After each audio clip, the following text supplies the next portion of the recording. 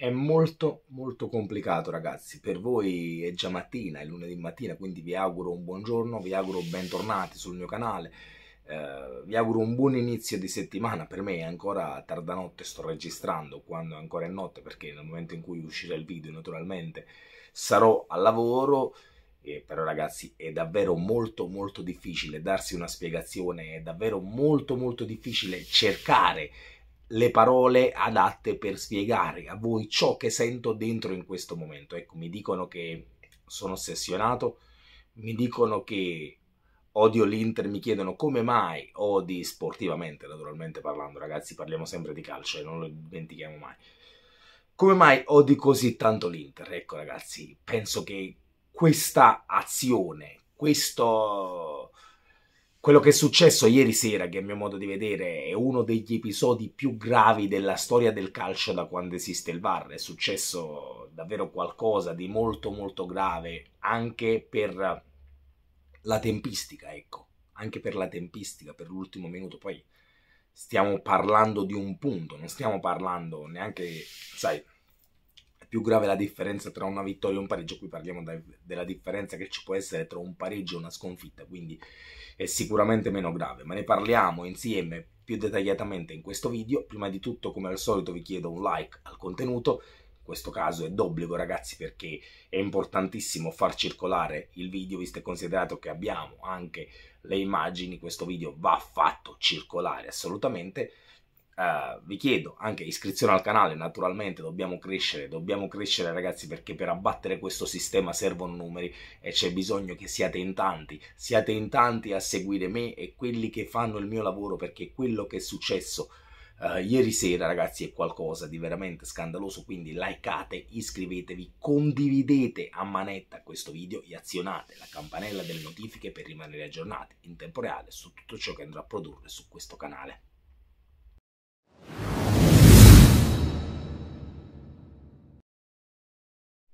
Non voglio neanche scendere nel dettaglio, ma voi ditemi a questo punto, in questo momento, con questa situazione, come si fa, ragazzi? Come si fa a chiamare il fallo? Quando è chiaro ed evidente che tu devi dare regola del vantaggio, ricordiamo che siamo all'ultimo minuto di recupero nella partita Monza-Inter.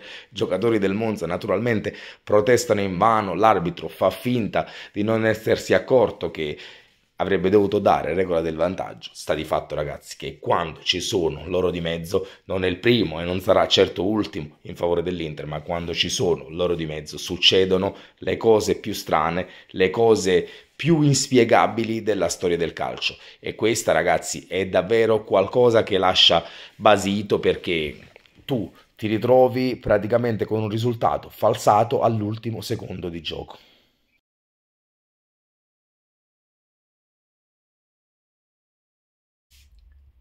Le immagini, ragazzi, parlano da sole.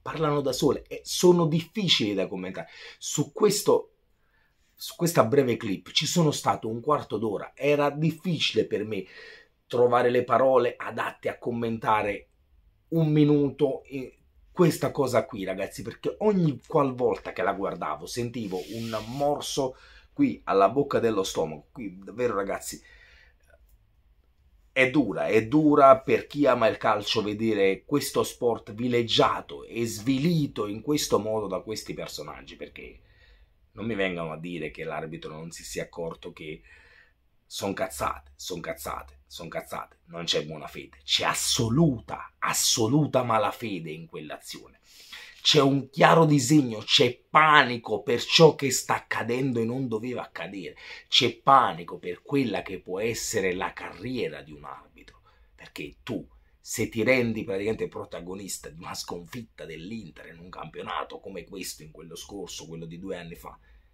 eh, rischi tanto, rischi che non, non, te la fanno arbitrare più, un po' come è successo a, a Chiffi, no? Ne abbiamo parlato, tanto Chiffi non ha arbitrato più l'Inter perché perché, non perché abbia arbitrato male l'Inter, ma perché non l'abbia favorita. Perché quello è il problema.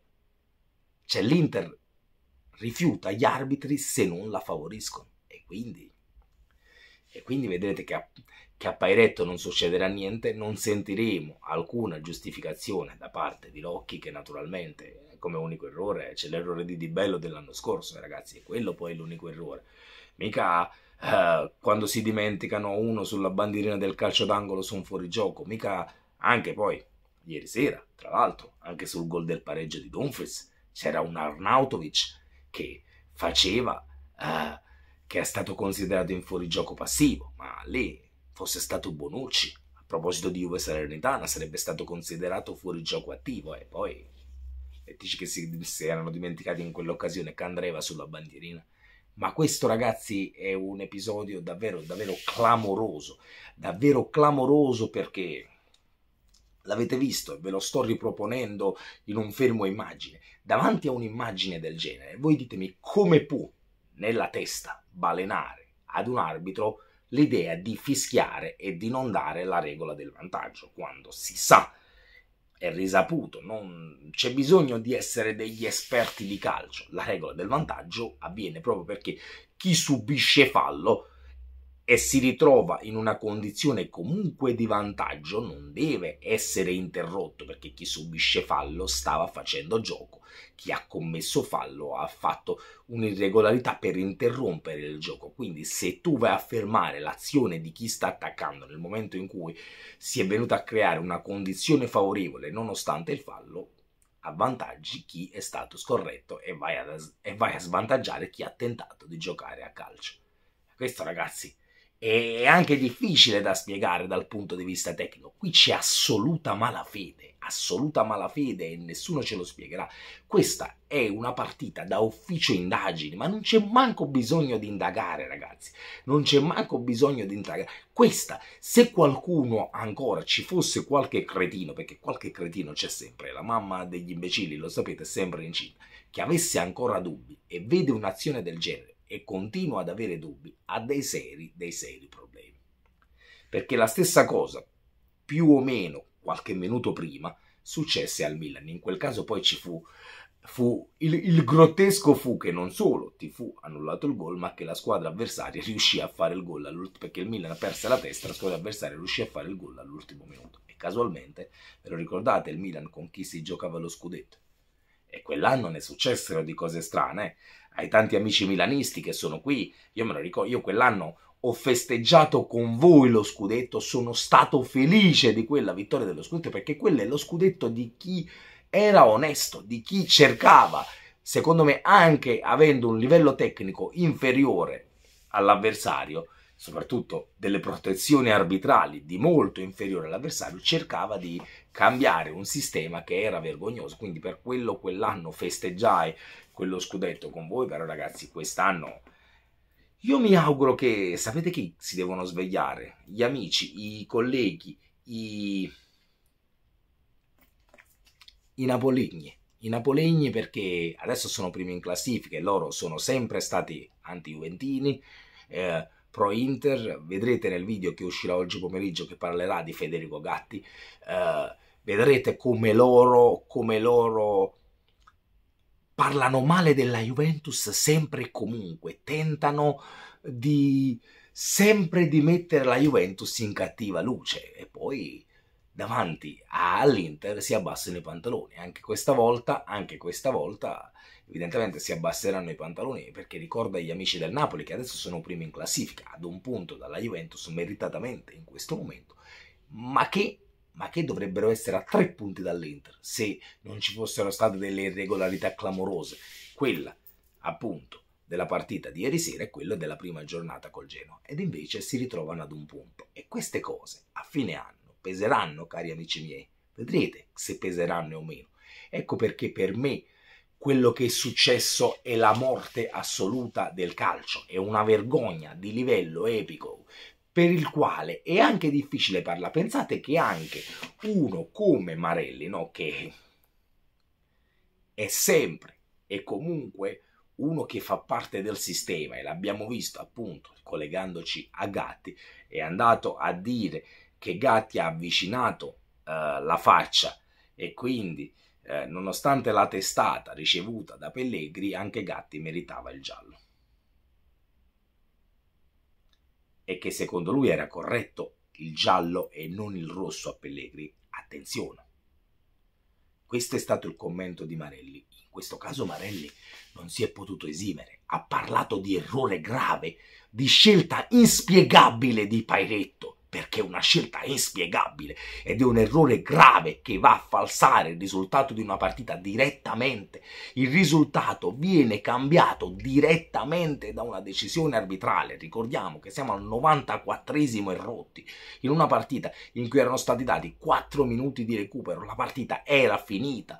Pessina solo davanti alla porta con la possibilità di concludere a rete non lo so se avrebbe segnato, non lo so se avrebbe segnato. Avrei voluto tanto sapere se Pessina in quell'occasione avrebbe eh, conservato la freddezza per segnare. Pessina è un giocatore esperto, campione d'Europa con la nazionale, che ha fatto tanti gol importanti sia con l'Italia che con l'Atalanta. Quindi stiamo parlando dell'ultimo imbecille.